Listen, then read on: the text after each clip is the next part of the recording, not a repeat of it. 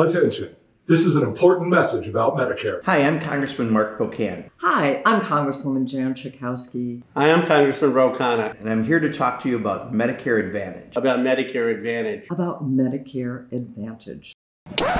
Yep, that's me. You're probably wondering how I ended up in this situation.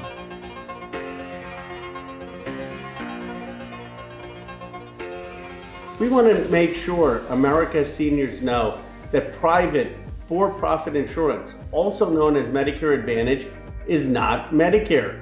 And that's why we've just introduced the Save Medicare Act. Private health insurance companies get seniors to sign up for private plans rather than Medicare by calling themselves Medicare Advantage. But Medicare Advantage is neither Medicare nor an Advantage.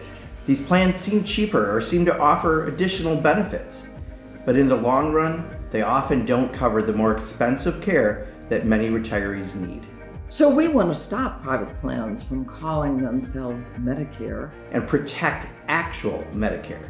making sure seniors' care is covered for the rest of their lives by a program with the power of real Medicare. So don't be fooled by the commercial gimmicks. and don't call 1 800 anything.